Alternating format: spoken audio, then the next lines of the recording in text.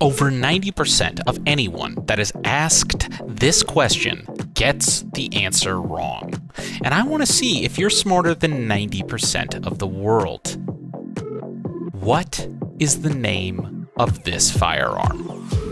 If you know the answer, tell me down in the comments. But before I tell you if you're right or not, make sure that you've pressed that subscribe button at the bottom of this video if you like content like this. All right, are you ready? Here we go.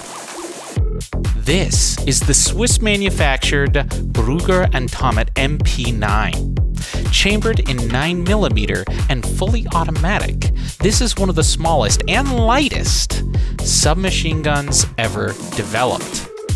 However, this tiny little firearm has found itself to be a little bit of a celebrity, being featured in games like Counter Strike and even finding its way into movies like The Dark Knight and 24. Pretty cool, huh?